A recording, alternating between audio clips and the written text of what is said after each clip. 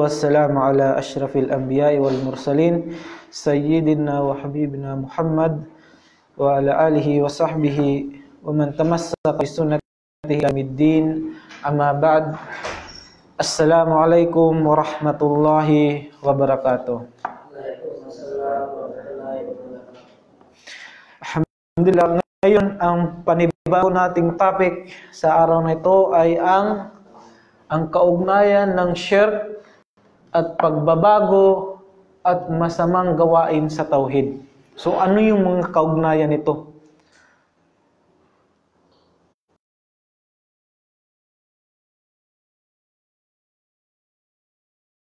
ng shirk. Ano ang ibig sabihin ng shirk? Ang pagbabago uh, or bid'ah, ang pagbabago at al-maasi o ang masamang gawain. So bago tayo papasok dyan, kailangan muna nating intindihin anong ibig sabihin ng shirk. So ang shirk po, mga kapatid sa pananampalatayang Islam, ay ang kahulugan nito, yung definition niya, ay ang pagtatambal. Pero ang sa definition niya, sa wikang Tagalog, translate, o ang pagtatambal ng dalawang bagay. Pero ang definition niya sa Islamiko ay ang pagtatambal kay Allah subhanahu wa ta'ala ng ibang Diyos-Diyosan. Kung sino man yung nagtambal kay Allah pa sa kanya ay matatawag na shirk o pagtatambal. Kaya ang pagtatambal kay Allah subhanahu wa ta'ala ito ang pinaka pinaka masamang gawa o pinaka matinding gawa na kaya ay hindi pinapatawan ng Allah subhanahu wa ta'ala kung sino man ang namatay dito. So, mga kapatid sa pananampalatayang Islam, ano ang kaugnayan niya sa tauhid? Ano ang kaugnayan ng pagtatambal o shirk sa tauhid? 'Di ba? Ang ibig sabihin ng tauhid ang kaisahan. Ang kaisahan. Tauhidullah ang kaisahan ng Allah Subhanahu wa taala. So pag pinasukan siya ng taw ng shirk ang tauhid ay hindi na siya matatawag na tauhid. So anong kaugnayan nito?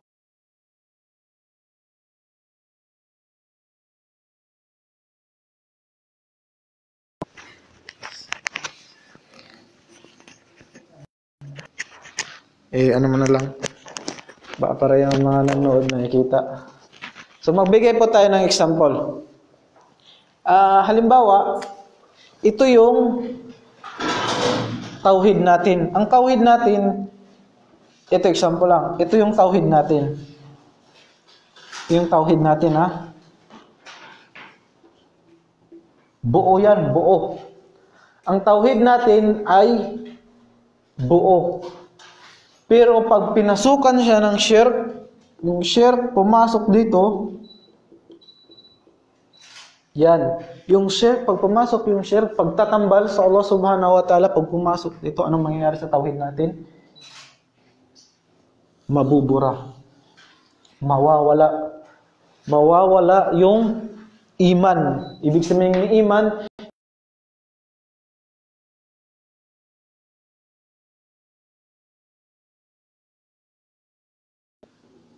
dapat nating ingatan. Pero ang shirk mga kapatid ay may dalawang ori. Ang pagtatambal kay Allah subhanahu wa ta'ala, ang shirk ay may dalawang ori. May tinatawag na al-shirkul akbar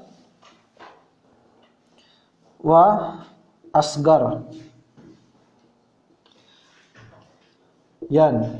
Sa itong dalawang uri ng shirk o pagtatambal kay Allah subhanahu wa ta'ala ay magkakaiba ang kanilang resulta. Pag pinasukan ng isang tao ang tauhid ng Shirkul Akbar at Asgar, ang Asgar iba yung kinalabasan. Nagiging kalalabasan. Ang Akbar ganun din magkaiba. So, magumpisa tayo dito sa Shirkul Akbar. Sabi dito, Yunafi tauhid bi kulliyati wa yukhriju sahibahu minal millatil Islam. So, ibig sabihin nito mga kapatid sa salam, pag yung tauhid, pag yung shirk, shirkul akbar, ito, shirkul akbar, malaking, ibig sabihin, malaking pagtatambal, pag pumasok ito sa tauhid ng Allah subhanahu wa ta'ala, ay buburahin niya ang tauhid. Sinong nagtataglay ng tauhid? Mga kasagot. Sino nagtataglay ng tauhid? Branton. Sino ang nagtataglay ng tauhid? Yung mga, ibig sabihin, mga Muslim. Mga Muslim. So, yung nagtataglay ng tauhid ay yung mga, tulad sa atin, mga Muslim.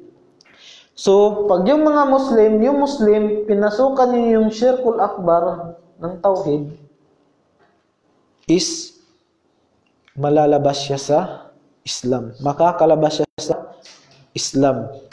Nandito siya sa loob eh. Ito yung Islam, kumbaga. Ito yung Islam. Ito yung nagproprotekta sa atin. So, nandito yung tao. Siya sa loob.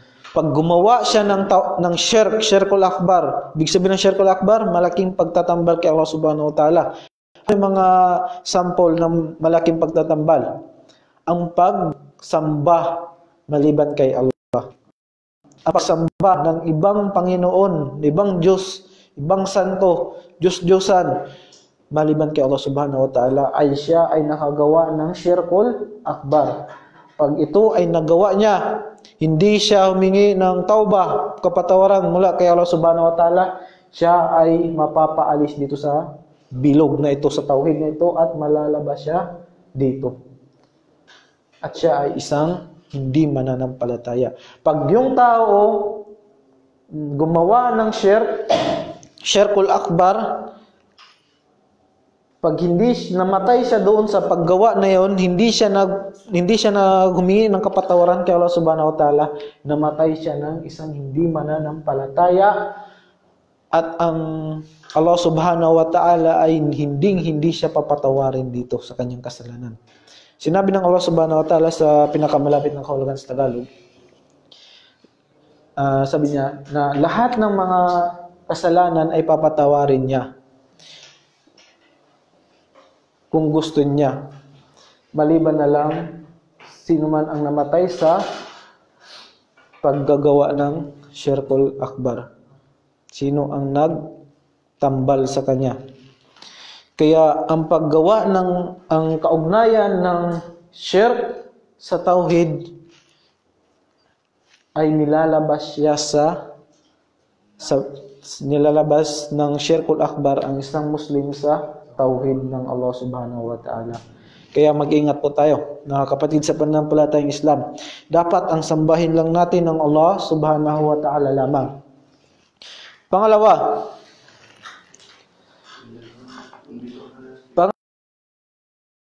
Shirkul Asgar. Ibig sabihin ng Asgar ang maliit na pagtatambal. Ang Shirkul Asgar ay maliit na pagtatambal.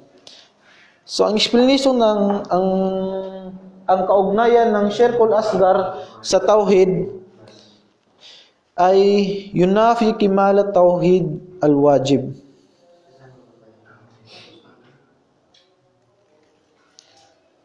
Ibig sabihin, ito yung tauhid natin, di ba? Pag pinasukan siya ng Shirkul Asgar, mabubura yung parte yan, nabubura.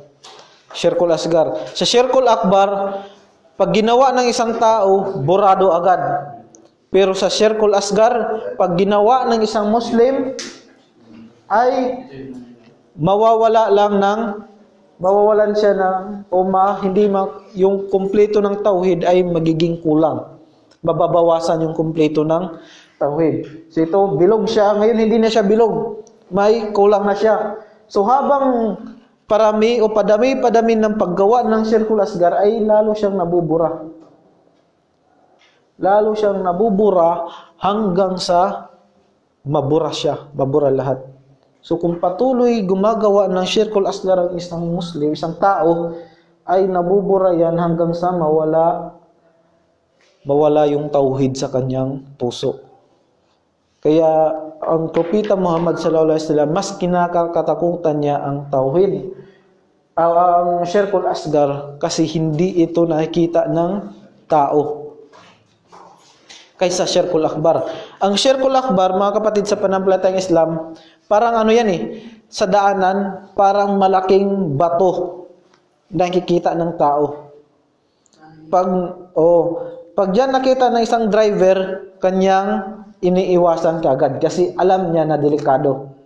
Pero yung Shirkul Asgar, para siyang mga tinik na maliliit na hindi nga ito nakakapinsala pa sa umpisa pero pag ito yung tao na to ay nalulung sa gawain na yun ay nahuhulog siya o nadadamage mas malaki yung damage na makukuha niya at magiging bulag na siya sa tamang landas hindi na siya makita kung ano yung dinadaanan niya so So, ganun po mga kapatid sa panampalatayang Islam.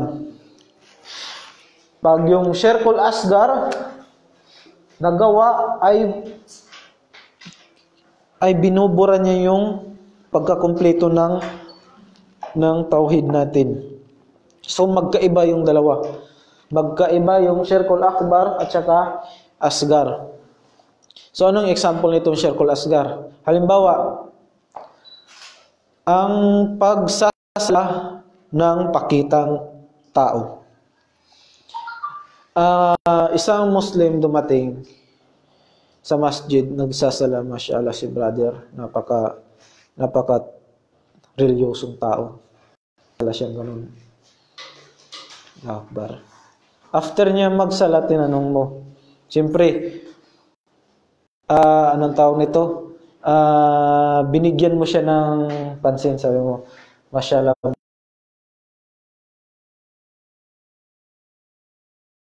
gawain na yan.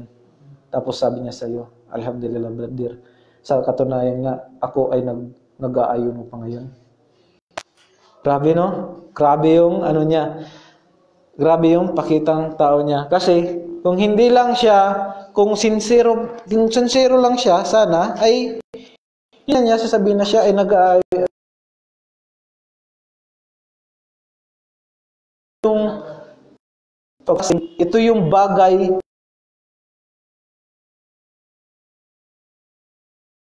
ibada o sikretong pagsasamba kay Allah Subhanahu wa Ta'ala. Tanging na, na, nakakaalam lang ng ibada na to, ng pagsasamba na to ang Allah Subhanahu wa Ta'ala lamang. Hindi to magiging hindi to alam na isang tao kung hindi mo sasabihin sa kanya. Kaya pag sinabi mo to, may pumatak sa dibdib ng isang tao tao. Kaya ang pagpakitang tao mga kapatid sa pananampalatayang tayong Islam ay hindi mababasa sa isang tao. Ang nakabasa lang nito ang Allah Subhanahu wa Ta'ala. Pero yung pagpakikitang tao ay kamahal-mahal ng ating sarili ang pagba ang ang pagpakitang tao ng ating sarili. Ito yung nag-uutos sa atin eh.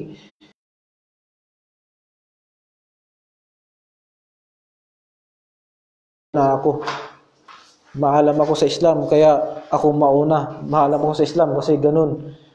Hindi po ganun. Tayo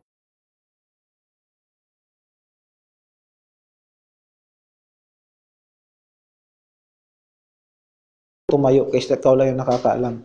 Pero bilang isang tao, bilang isang makinig ay hindi natin alam kung ano yung intensyon ng bawat isa sa atin. Ala, kung ito ba ay sincero o hindi. Pero ang pagi ang pakitang tao ay isa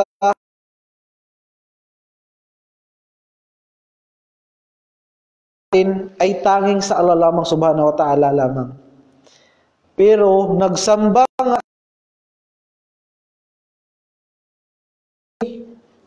uh, hinaluan niya ng pakitang tao. Ibag ko sana yung pagsamba yun ay para kay Allah lamang. Bisinag ni para mga tao na Ay, mashallah, si brother, napakaganda magsala. Magsala yung pagruko, tuwid na tuwid talaga. Pag sujud, walang swa- swabing swabi talaga. Pagbasa ng Quran, ang ganda ng boses. Ganon. Wala namang masama kung ganon talaga yung talent mo. Intention muna, pakitang tao.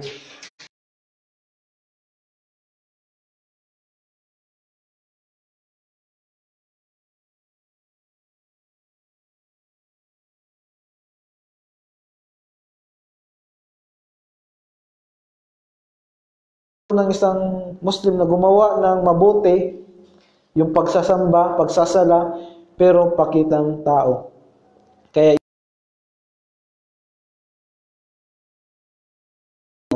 kasi kailangan ng sarili natin. Kailangan hin- ang pagsasala ay hindi kailanman kailangan ng Allah Subhanahu wa Ta'ala. Oo, hindi kailangan ng Allah Subhanahu wa Ta'ala yung pagsasala natin, paggagawa natin ng mabuti. Sabi na sa sa hadith, hadithul qudsi na kung lahat ng tao ay mag-ipon-ipon, ah, lahat ng tao ay hindi magdarasal kay Allah Subhanahu wa Ta'ala, ay hindi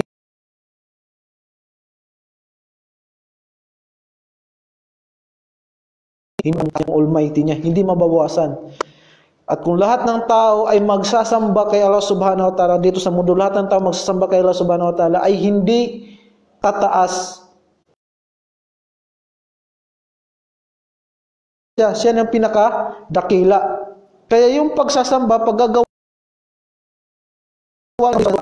is para sa ating sarili, sa ating kapakanan, hindi para sa iba, para sa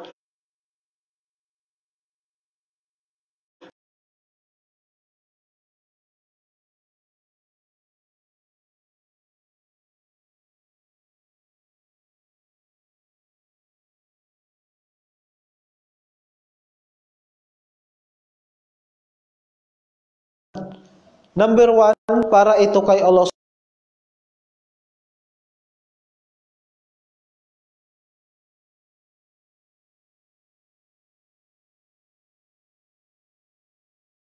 Ta'ala, pero hindi mo alam paano siya sambahin ng tunay na tamang katuruan. Kasi karamihan sa mga karamihan sa mga Muslim is, oh, kilala nilang Allah Subhanahu wa Ta'ala, pero pag tinanong mo ano yung kahulugan ng Jmar, hindi nila alam. Anong marulings nito? Paano ka mag paano kung may nangyari sa ganito? Kasi nga kilala nila kil- kilala lang nila ang Allah Subhanahu wa Ta'ala sa kanyang pangalan, pero hindi nila kilala ng tunay kung paano nila sambahin ng tama ang Allah Subhanahu wa Ta'ala. Yun yung pagkakaiba.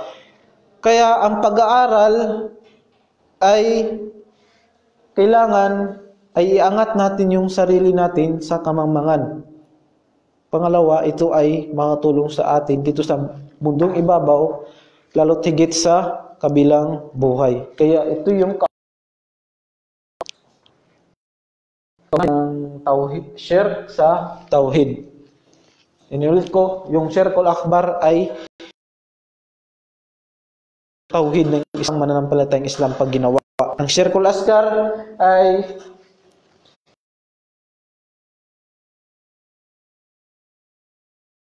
siya buo, paunti-unti. Pero pag ginawa, ginawa, dumami yung gawa ng Sheikh Asgar ay nabubuo.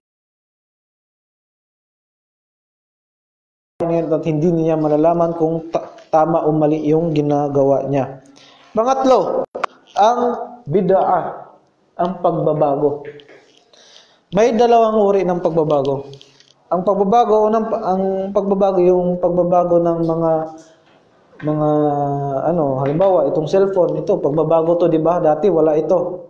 Mga sasakyan, mga airplane, barko, dati wala 'yan, 'di ba? Mga bahay, mga cellphone, aircon, mga light, internet, dati wala 'yan. So 'yun yung mga pagbabago, mga invention, mga nag-inimbento. Pero yung pagbabago na ang tatapikin nito natin, yung pagbabago na tinutukoy natin yung pagbabago sa Islam. So alam naman natin na ang Islam is kumpleto. Nung propeta Muhammad sallallahu alaihi wasallam namatay, ay kumpleto na yung Islam. Walang labis, walang kulang. Kung sino man ang nagtanggal at nagdagdag, ay yun yun ang pagbabago. Yun yun ang pagbabago. At hindi, hindi ito ka tanggap-tanggap sa Islam. Kaya, ang tawhid, kaugnayan niya sa ay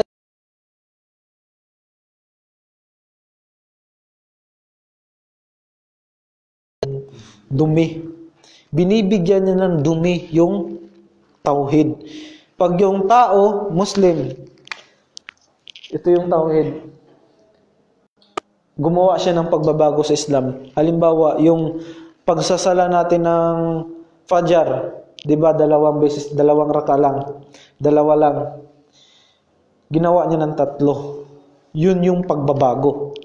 Yun yung pagbabago na hindi hindi katatanggap sa katanggap-tanggap sa Islam. Kaya binigyan niya ng mansya yung tauhid.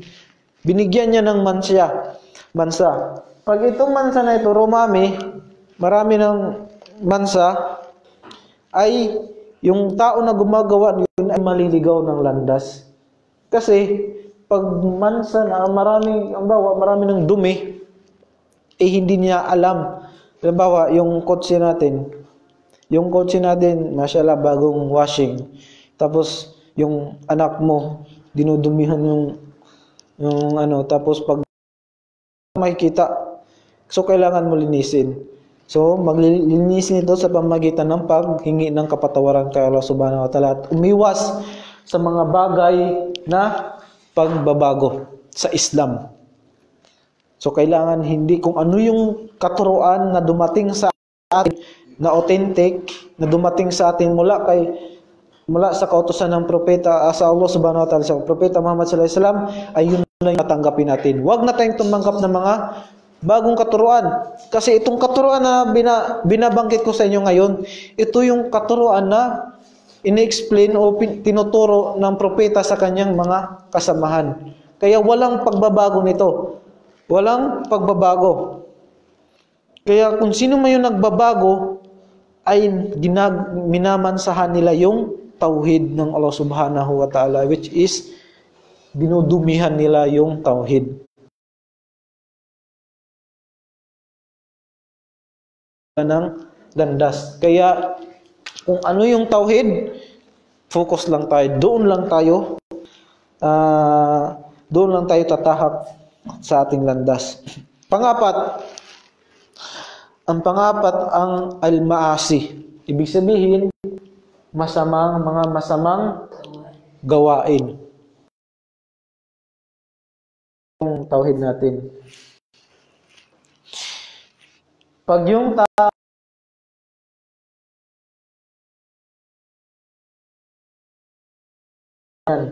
sa kanyang puso. That tuldok. So habang gumagawa yung bilang isang tao ay lahat tayo nagkakasala. Sabi nga sa hadith, kullu bani Adam kapa wa khairu katain at tawab tawabun. Uh, lahat ng angkan ni Adam, Adam alayhisalam ay nagkakamali. At ang pin, pinakamainam na nagkakamali ay yung taong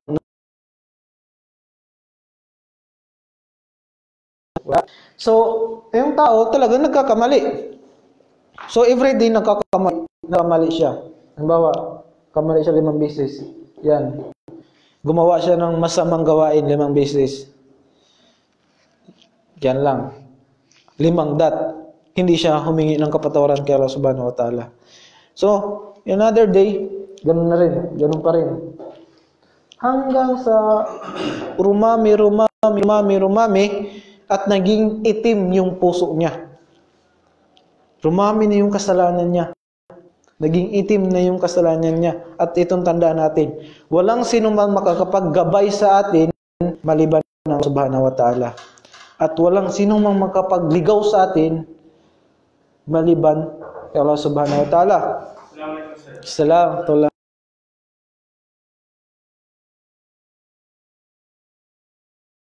So, hanggang sa parami ng Paso, brother. Hanggang sa parami ng parami yung kanyang God, itong tao na to ay hindi na hindi na niya tatanggapin o hindi na siya tumatanggap ng advice.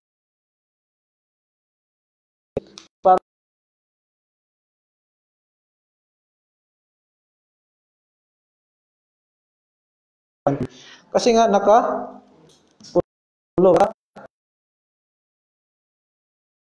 Sigurado wala siyang pasukan. Ganon din yung tao na gumagawa ng maraming kasalanan.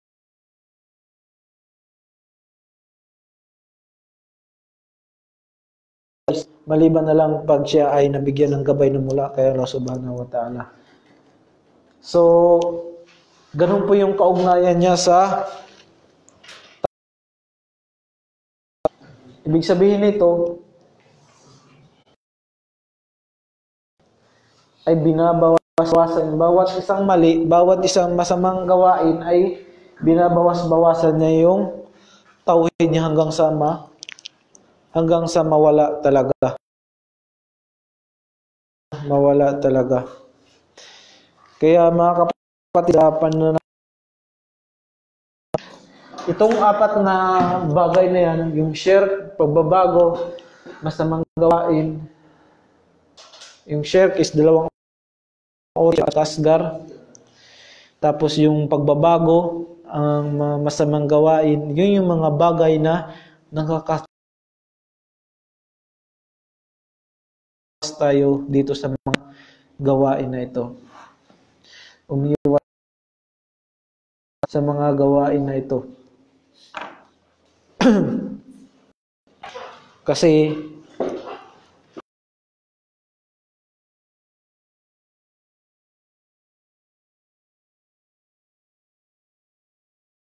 yung last na umma, last na nation o tayo yung nasa last, last na panahon. Kumbaga, malapit na yung araw ng paghukom. araw ng paghukom. Kasi sa habang palapit ng palapit na yung araw ng paghukom,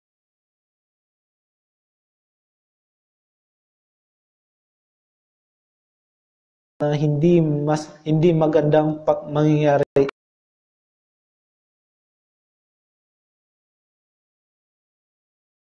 generation kumbaga ito yung last na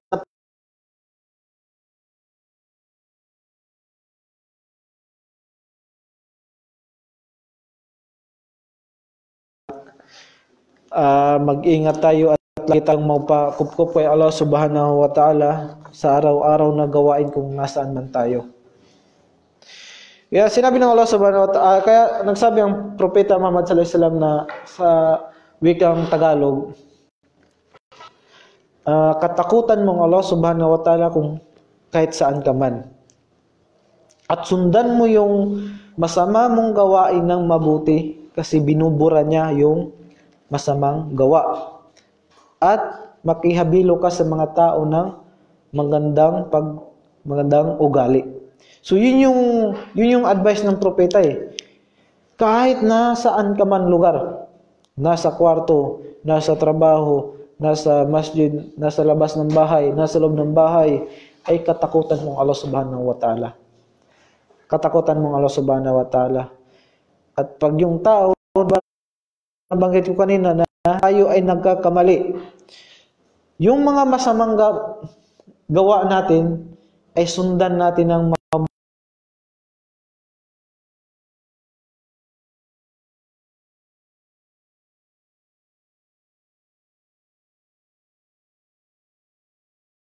na pag tayo ay pag tayo ay naghabilo ng mga tao sa mga tao ay dapat yung ugali natin is maganda. Wag wag tayo magiging ano uh, toxic kumbaga. Wag giging tayong ganun. Dapat yung ugali natin, yung pakikisama natin sa mga tao is maganda. Kasi uh, sinabi pa niya sa ibang hadith na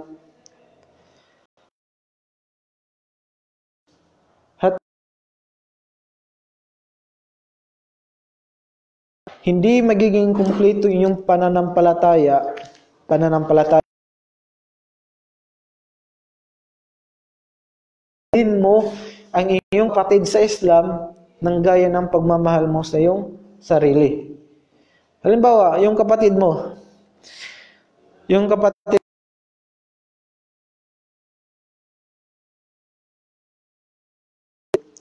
So, mahal mo yung sarili mo. Mahal mo yung sarili mo na maligtas sa naglalaglab na apoy at mapunta sa paraiso. 'Di ba? Ganun yung hangad natin, hangarin natin. So ganun din yung hangarin mo sa kapatid mo sa pananampalatayang Islam. Pag hindi hindi mo alam, hindi niya alam paano mag magbudo, paano magsala ng tama, ay turuan mo. Turuan mo. Aral gawa natin ngayon. Mahalin mo yung kapatid mo sa Islam gaya ng pagmamahal ng sarili mo. Ganun po yung explanation mga kapatid sa pananampalatayang Islam. So, sino po yung may tanong patungkol sa topic natin sa ngayon? Para maliwanag. Para mas maliwanag.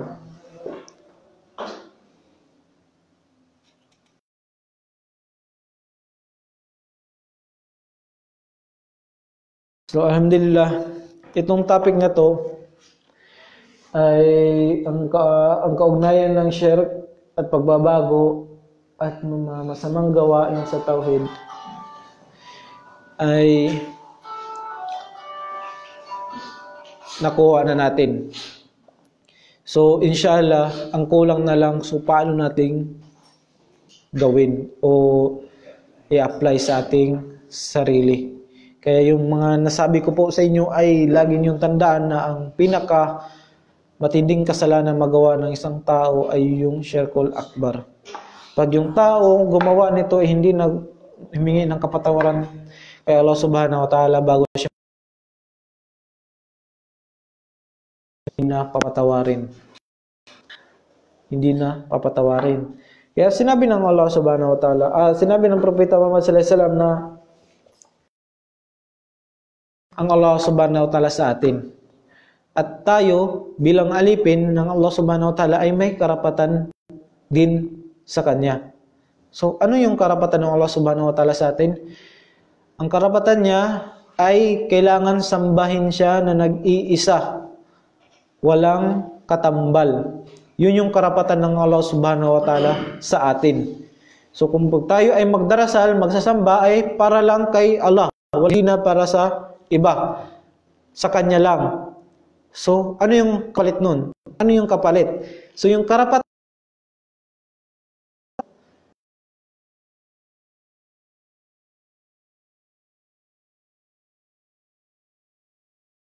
ng mabut nagsambat sa kanya ng tama at nagsamba sa kanya na siya lamang, wala nang iba, ay ipagbawal tayo sa kanyang imperno. So hindi tayo ipapasok. So saan tayo mapupunta? Sa paraiso ng Allah subhanahu wa ta'ala.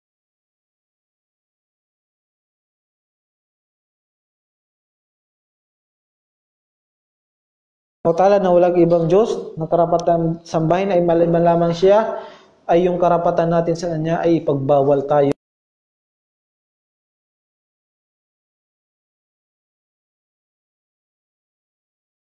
So, pag inibig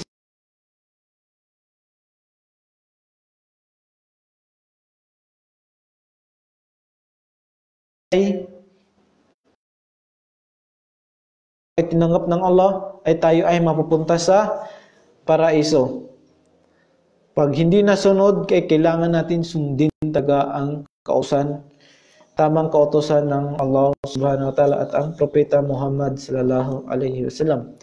Pero wag tayong mag wag tayong umasa dam, lamang doon. Kasi sabi ng sabi ng Propeta Muhammad sallallahu alaihi wasallam, ibalita ko ba na magandang balita sa mga tao? Ang balita na ito? Ang sabi ng propeta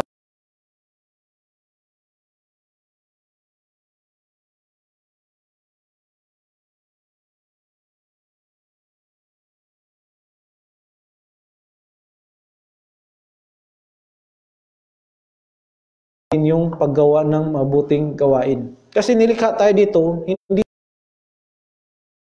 man upang magparami ng anak.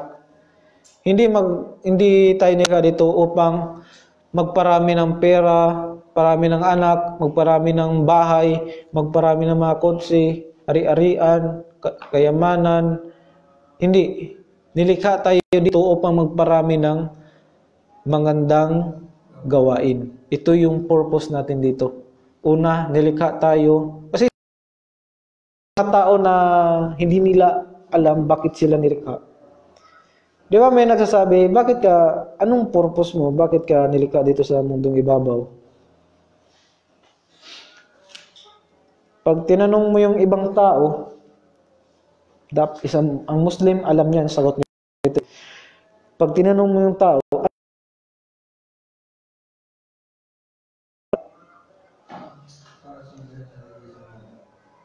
Yun. Kasi sabi na, binabagit ko kanina po, umakalaktul jinna wal ins illa liya'budun. At hindi ko nilikha ang inkanto jin at ang mga tao maliban na lang na sambahin nila ako. So ito yung purpose natin. Number one purpose natin ay ang sambahin ang Allah subhanahu wa ta'ala. Pangalawa, ay gumawa ng mga mabuting gawain. Magparami magparami ng mabuting gawain. Pangatlo, is yun na yung mga dito, which is yung paghanap ng buhay para maka, may makain tayo, pag-asawa upang makumpleto yung pagiging